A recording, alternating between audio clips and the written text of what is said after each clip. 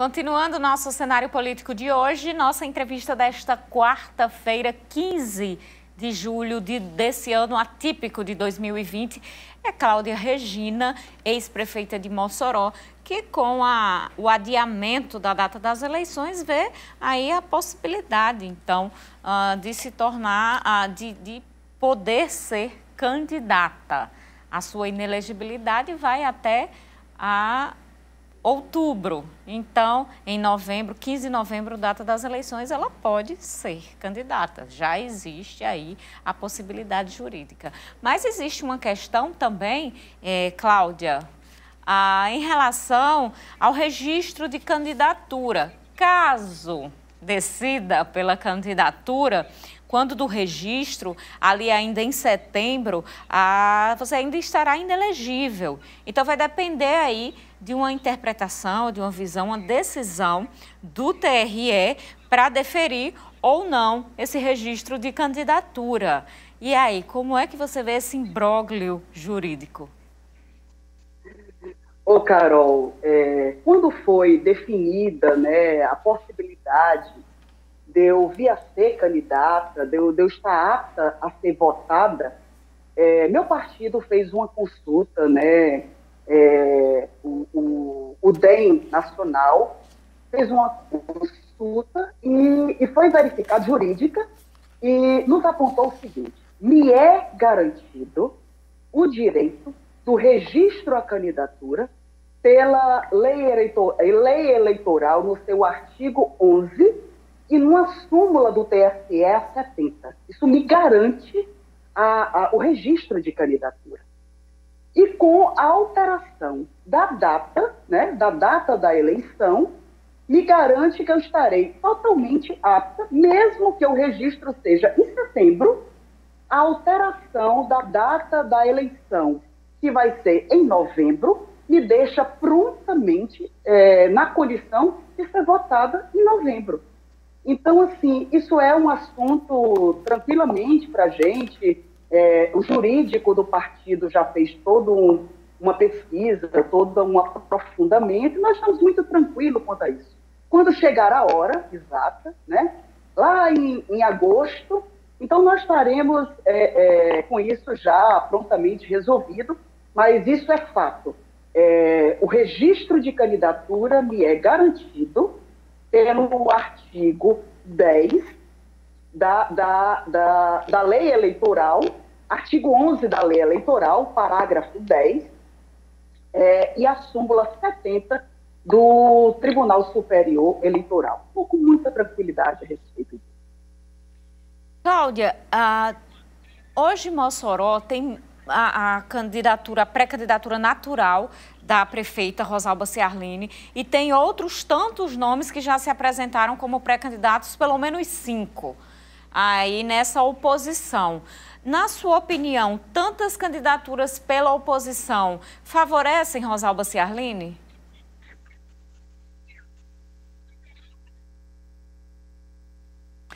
Olha, eu acredito que, que é necessário se juntar forças para é, se defender esse projeto maior para Mossoró. É, eu acredito que, juntando forças, nós teremos como juntar várias cabeças, várias ideologias, para se construir um projeto grande, um projeto que não se trata de monopólio político, mas um projeto que garanta às pessoas é, melhoria da sua qualidade de vida. Isso é o que me interessa. Tenho lutado por isso, para que é, todas as pessoas que estejam de uma forma ou de outra, é, que não estejam gostando, que não aprovem a atual administração, possam se juntar para caminhar juntos e apresentar uma alternativa.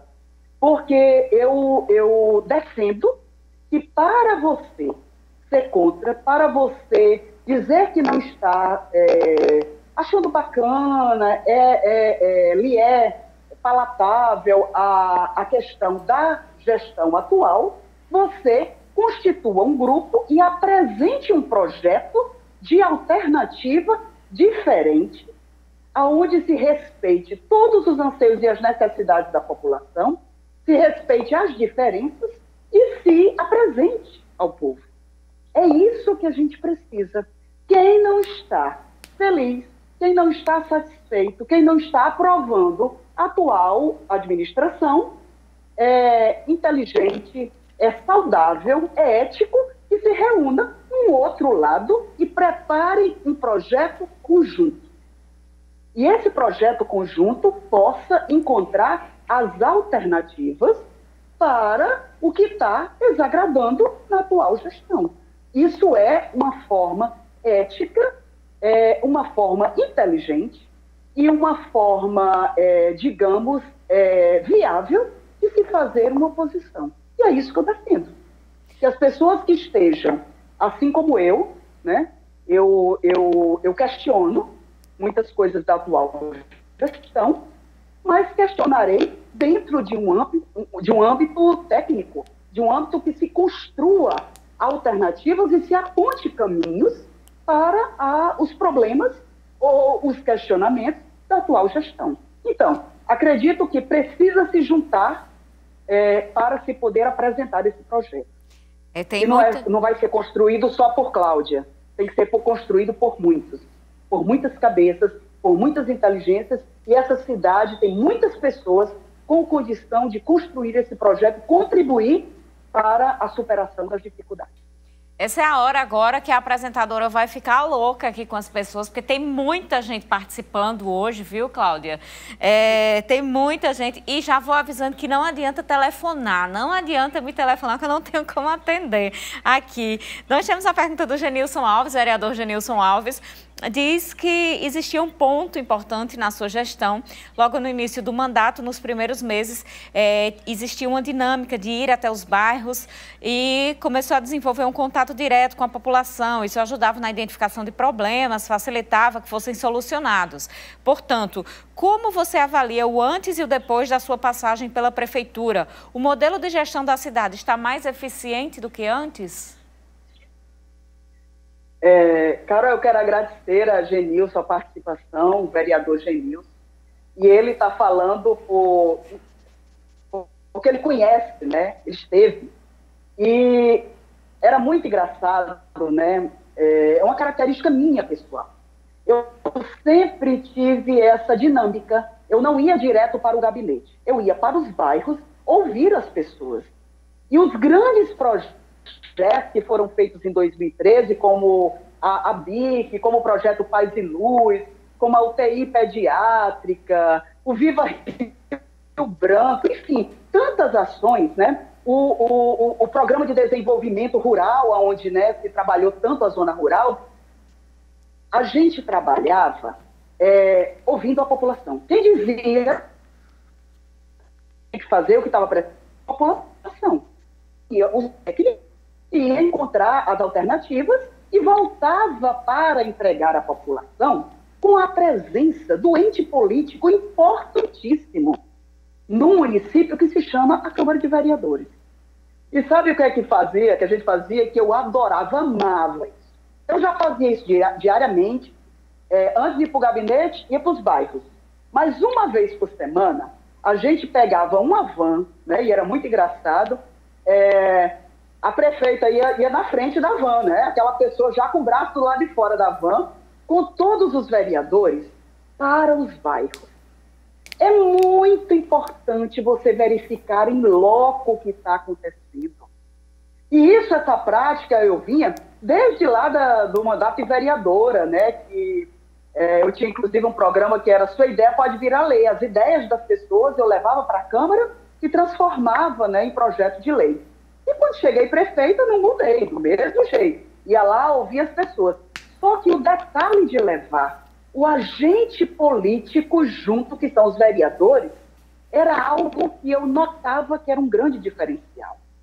Se as pessoas puderem ver as imagens de 2013, não tem uma imagem de entrega de algum serviço, de alguma visita que eu não esteja ladeada pelos vereadores.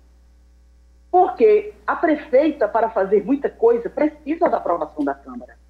E para ter aprovação da Câmara, em vez de eu estar usando outros métodos de convencimento, eu levava o vereador para ver em loco, porque ele se convencia da necessidade. E depois voltava para ver o benefício que tinha prestado. Essa integração é importantíssima. É importantíssimo esse diálogo com a Câmara, respeitando os limites de cada poder constituído, mas convivendo pacificamente em prol do bem da população. Então, o vereador está se referindo a isso porque ele lembra muito bem, né? E isso me deixa muito feliz que, depois de oito anos, ainda esteja viva, né? Essa lembrança na, na, na cabeça dele. Isso é muito bacana, é sinal que deu Cláudia, certo. Cláudia Regina. E, e uma coisa. Oi. Tem muita Oi, pergunta Carol. aqui, eu vou tentar adiantar. Eu tenho que ser rápida nas respostas, né, Carol? mas, já, mas, mas, antes era treinada, respondia bem rapidinho, já tinha a prática. É porque fazia tempo, né, que você me entrevistava. a, a, gente tem aqui o João Paulo Marques, ele faz inúmeras perguntas. João Paulo, não dá certo. Eu vou escolher essa aqui que ela ainda não respondeu, sobre a, a eleição ao Legislativo. O DEM será fortalecido fortalecido é viável com dois nomes à Câmara, dois vereadores do mandato? Ô, João, muito obrigada pela participação, meu querido. É muito bom você fazer essa pergunta. É, e ela complementa a pergunta do vereador Gênesis. O DEM vai fortalecido, tem dois vereadores com mandato. Nós estamos com uma nominata fantástica, recheada de pessoas comprometidas, né? De dentro de instituições, de segmentos organizados, que vão lá defender a sua luta. Vão levar a bandeira, por exemplo, de pessoas com deficiência, da cultura, pessoas com a bandeira comunitária, enfim. Uma, uma, uma, nós temos uma nominata muito forte e eu tenho a convicção que nós não só é, conduziremos os dois vereadores, o vereador Petras e o vereador Osaniel, aos mandatos novamente, como levaremos outros tantos. Porque quando a gente começar a ir à rua com o projeto, mostrando às pessoas que é possível fazer diferente, fazer uma política com P maiúsculo, uma política que respeita as pessoas, uma política que presta conta no dia a dia, uma política de pessoas que vai e anda nas ruas sem medo, não é só de quatro em quatro anos, não. Os dois vereadores que estão com mandato, hoje, é, pode ser visto em todos os momentos nas ruas de Mossoró, conversando cara a cara, olho no olho com as pessoas, e a gente quer aumentar essa bancada, por quê? Porque a gente, a, a nossa nominata é constituída de pessoas que casam nos mesmos propósitos, o respeito ao povo, a garantia de direitos assegurados através do seu trabalho e, principalmente, a condição de não criar nenhuma dificuldade que impeça de ir às ruas e olhar nos olhos das pessoas. Gente... Esse é o nosso maior recibo, o recibo de credibilidade, de prometer e fazer. Carol, tô complicada, não tô, A Carol? gente tem aqui o Emanuel Garcia, Cláudia Regina, ela, ele quer saber ah, se a aliança Cláudia Alisson Bezerra é possível.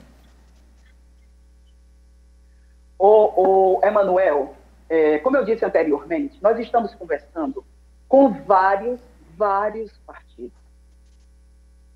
E o nosso propósito não está é, preso a, a nenhum nome. Qualquer nome é possível. Qualquer nome é possível. Qualquer conjunção, qualquer é, é, parceria, ela é possível. Desde que esteja pautado no projeto que a gente defende para Mossoró.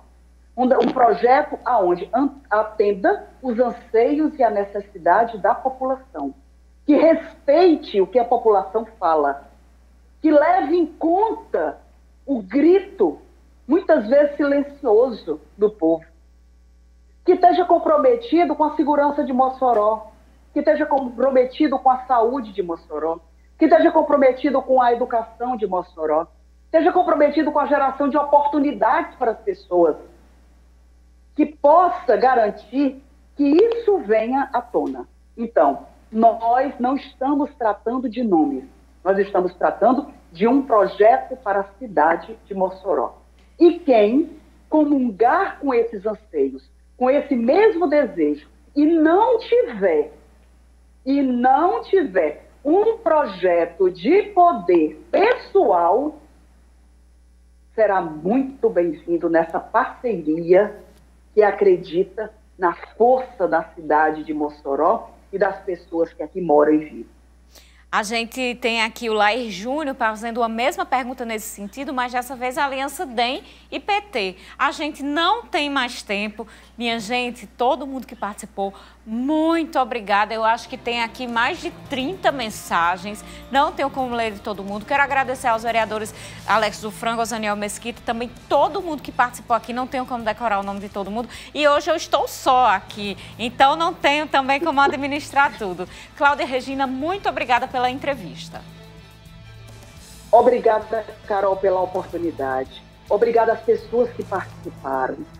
Você não pode imaginar a, a emoção de eu estar aqui hoje. Como você disse, há cinco anos foi a última entrevista que eu te dei, né? Foi a última entrevista que eu dei, porque naquele momento tinha um fato que era assumir a presidência do diretório do DEM em Mossoró.